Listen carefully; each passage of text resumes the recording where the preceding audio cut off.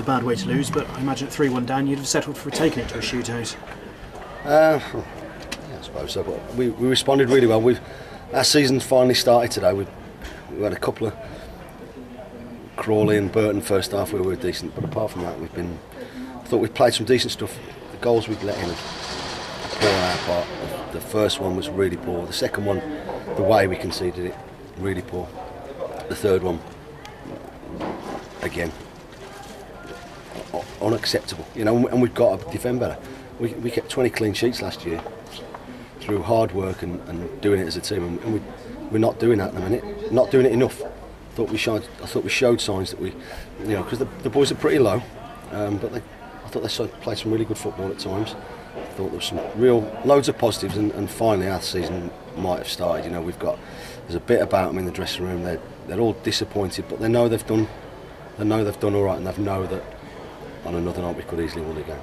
And there was the fighting spirit to get themselves back in it Yeah, again as well. How pleasing is that? Yeah, but we shouldn't we shouldn't have put ourselves in that in the first place. You know, we get a goal ahead again. We, we had a it was a, I thought Sam had a great opportunity to either put Zach in, or in the first half, or, or, or score himself, and, and, he spits it over the bar from the goal kick. They've two touches like the balls in the back of our net, and uh, you know we've we, we've got to address that. We've got to. We've, you know we can't keep shooting ourselves in the foot and playing okay, um, and conceding goals. But we responded in the right manner. Um, I thought Zach was a constant threat. Got tired in the last 15 minutes. Um, David Noble come on and you know showed us what he can do, and he'll be a he'll be a big part of us trying to get back to doing what we what we're quite good at.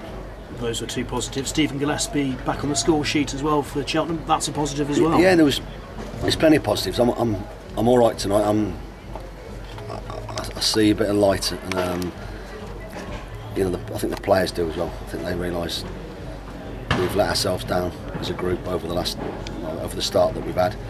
Um, I'm disappointed that we haven't won tonight and gone gone through. It would have been what we wanted, um, but we can now build on, on that for, for Saturday. And when David Noble came on and started passing, some of the other players in the team seemed to start passing well, Well, that as was, well. that's what I brought him here for. To be fair, you know, I could have got, like I said, I could yesterday. I could have got a big six foot stopper of a centre back or a stopper of a midfield defensive midfield player. But I wanted someone who could, who was going to get on the ball and make some of the other players that that are, that are just not quite having it off at the minute. You know, not quite making it happen for themselves. I wanted him to try and do that, and you know, I thought Sammy came to it a little bit second half and more. Um, Zach, um, Jermaine come on and put in three or four wonderful crosses that we, you know, should have scored from really. Um, the one he whipped in, he's put three great balls across the six-yard box. Byron's made a good connection with the one. Keeper's just got a rock gun, got lucky with it, or made the right save. We, we did we did things a lot better. You know, my back four.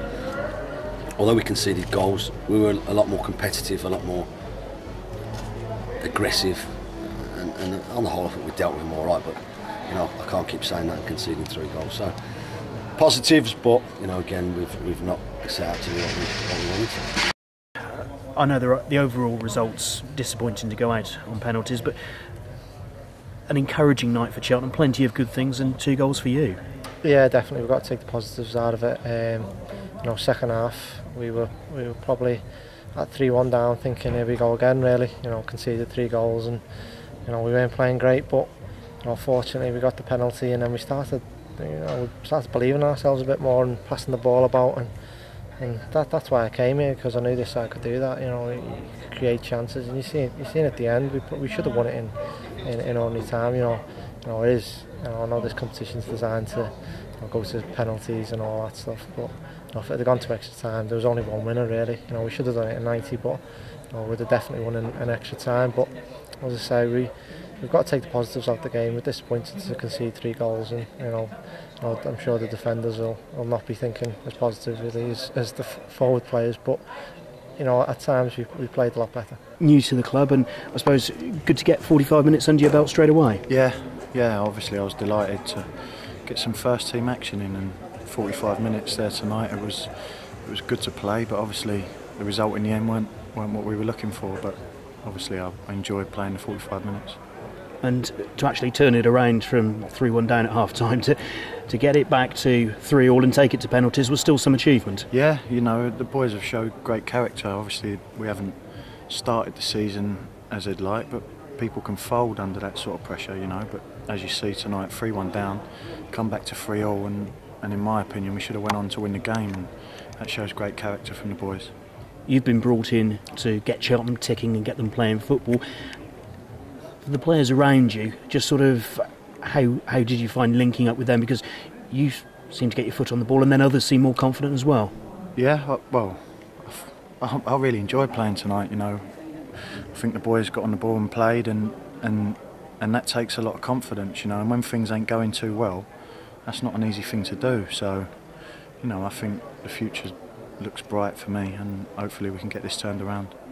You've come here on a half season loan until January. So I suppose there is time for you to sort of settle down and actually try and achieve something here, isn't there? Yeah, yeah, of course. I mean, it's not just a, a month loan. It's what is it, three months? Is it till January? And so I'm I'm looking to, to do good things here. What was it about Cheltenham that attracted you to the club? Um, well, obviously, to get out and play games. You know, I mean, the manager told me I was going to come down here and play, and, and he wants me to as you said, get on the ball and, and start making things happen. And you know, just just to hear that from a manager straight away when you're out in the wilderness in another club and, and you don't hear nothing from, from the manager for a while, it's um, it's good to hear and it gives you, you know, you, I, was chomping at the bit to get on tonight. So. Jason Taylor obviously came to Cheltenham from Rotherham. Did yeah. you speak to him as well? Yeah, well, not before I'd done it. You know, it was literally, do you want to go to Cheltenham? Yes, that was it, done. And after it was done, I spoke to Jason and uh, said I'd be down. So we had a little chat on the phone, but just looking forward to my time, to be honest.